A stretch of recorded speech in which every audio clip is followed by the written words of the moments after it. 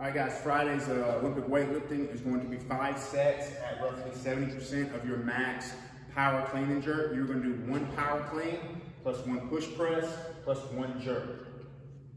Um, push jerk. So push press, push jerk, uh, power clean, just something you get con consistent going overhead when you got a little bit of fatigue after the push press. Again, learning to drive through the legs and create all your power through your legs and just learning to lock that lift out with your arms. Metcon today, I think it's gonna be a fun one. Six sets, one set every three minutes.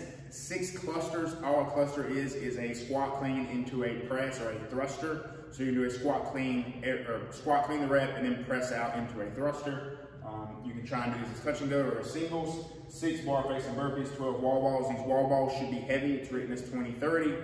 Um, something you can probably go and work on, but it's going to become challenging towards the later sets, especially if you're trying to maintain very close times across the board. And remember, your score is your slowest round. Have fun with it. Get after it.